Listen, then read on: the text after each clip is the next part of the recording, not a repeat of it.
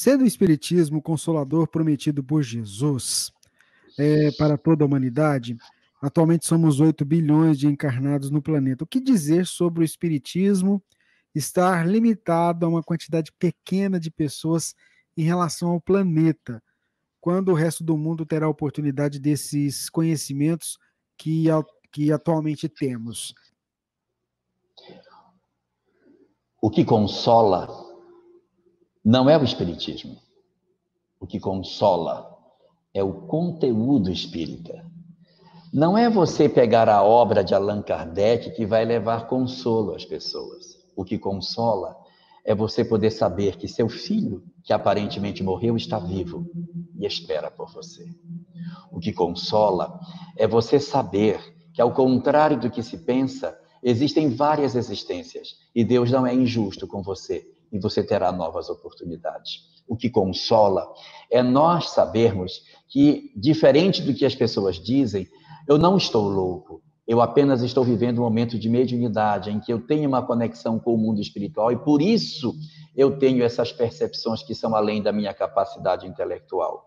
O que consola não é nós termos a, a, apenas a leitura que o mundo nos dá sobre o que seja a vida. O que consola é nós sabermos que Deus é soberanamente justo e bom, imortal, é, é, imaterial, imutável, que Ele é eterno e único.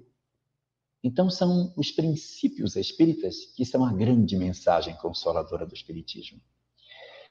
Se a mensagem do Espiritismo se propagar com outro nome, mas ela levar para as pessoas a informação de que a morte não existe, de que a reencarnação é a grande lei, de que a evolução é o caminho para a perfeição, de que Deus nos ama profundamente, que nós estamos marcados para a felicidade, que os suicidas terão o aconchego de Deus e que, a despeito de suas fragilidades, haverá sempre um recomeço para todos nós. E que Deus tem um carinho imenso por todas as suas criaturas. Não importa o nome que nós venhamos a dar a essa mensagem porque é essa que é a mensagem consoladora. O Espiritismo é a doutrina que melhor reúne isso de maneira mais nítida.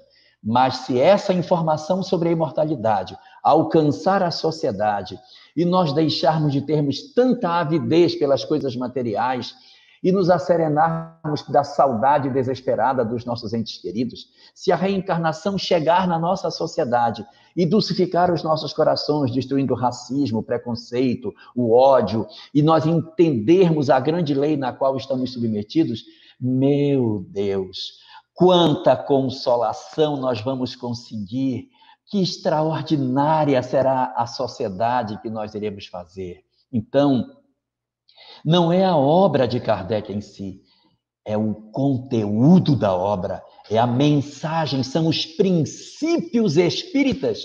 Retire os princípios espíritas da sua vida. Faça esse exercício.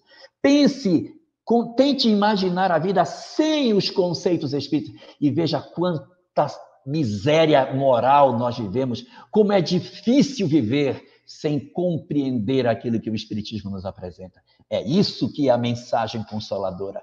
Esse é o consolador prometido, a mensagem renovada da imortalidade, cheia da misericórdia e do amor de Deus.